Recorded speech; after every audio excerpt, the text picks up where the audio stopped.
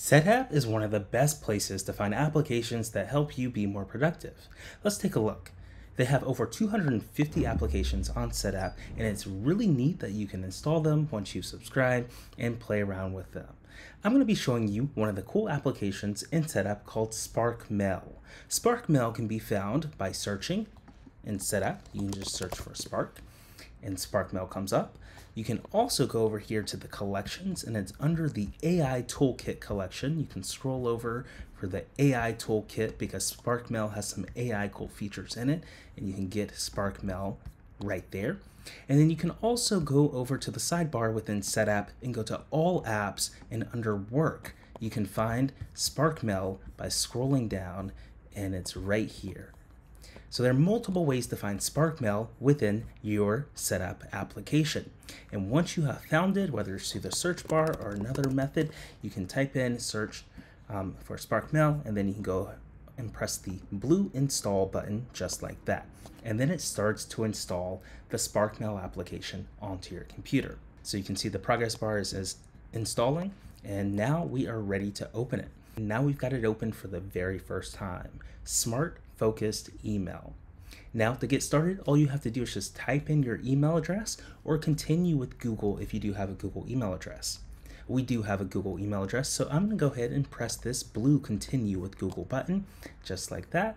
We'll press it one time, we'll log into my Google email and we'll authenticate and we'll want to select all in order for Spark to access our email and compose in our calendar. And then we'll press this continue button at the very bottom. We press that one time and then we will hit the allow button that allows SparkMail to authenticate and verify our application and our account together.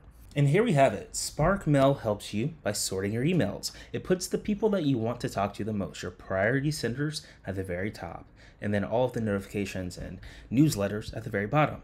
You're presented with this welcome screen that greets you, good afternoon, good morning, and then you can go ahead and press this blue check inbox button in the middle here in order to get started. So we just press this once and it takes us to our inbox.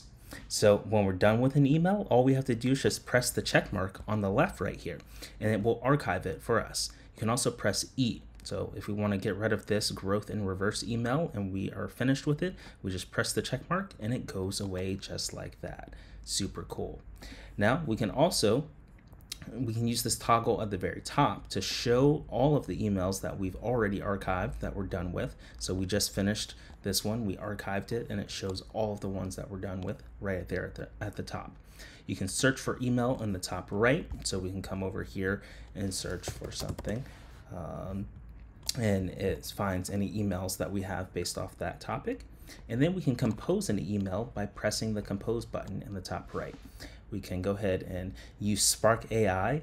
I love this feature. We can enable Spark AI and um, we can have it help us with our email writing. So we can say um, subject, um, we can create a title, new app, um, and then we can say, I have an idea for a new app. Can you help me with the wireframes. And then I can come over here and select and use the Spark AI to proofread, to rephrase with the prompt, or to expand and shorten. So say I want to make this more detailed, I can go ahead and press the expand button and it generates using Spark AI, just like that. Um, it's gone ahead and rewritten this entire email for me. I've conceived an innovative concept for a cutting edge mobile application that has the potential to address specific needs or enhance user experiences in remarkable ways. So I love Spark AI. and It allows you to rephrase your content using artificial intelligence. We can also dive deeper. We can click on our newsletters. We can see all of our newsletters that are in here.